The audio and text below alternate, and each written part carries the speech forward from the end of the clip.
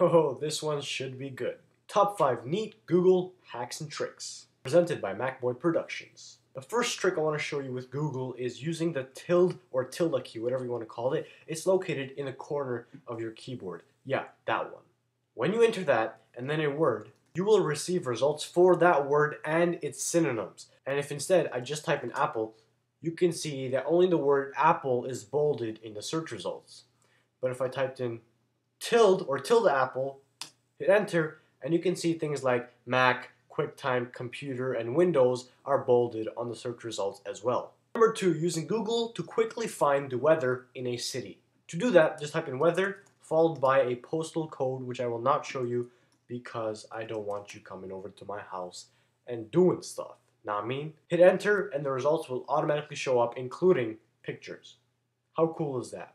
Now this one I'm sure all of you have heard of, using Google as a calculator. So for example, if I type in 4 times 4, I will get the result of 16 automatically. Now you don't have to be specific in what you type in at all. You can type in 4 divided by 3 and it will still give you the correct answer. And here's something that comes in very handy when you're flying. To check a flight status, instead of going to the airline's website, looking for your flight number, flight status, and wasting your time there, just type in your airline and flight number and it will automatically come up in Google's results.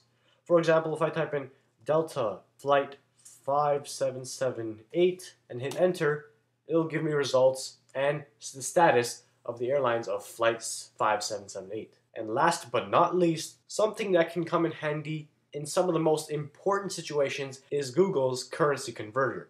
If I want to find out what $5 in Canadian currency would equal in American dollars, I just have to type in Canadian dollar to US dollar and do the calculations from there. Now, as you can see, I didn't type in US, I wrote US, and it still gave me the accurate results. And as a bonus, I will show you how to hack into security cameras around the world through Google. Yes, only through Google. Just type in this text that you can copy and paste from the description or the sidebar or the bottom bar below this video. Hit enter, and you have a bunch of links to click to. Now, you can just go to the first link and check it out there. This link is a airport somewhere around the world and it's going to show you what's happening in live time. Pretty cool, check it out and tell me what you think in the comments below. So there you have it guys, five nifty tricks that you can use with Google on a day-to-day -day basis. Thanks a lot for watching. Please don't forget to like, comment, and subscribe on these videos and channel. And guys, I will see every single one of you next time right here on MacBoy Productions.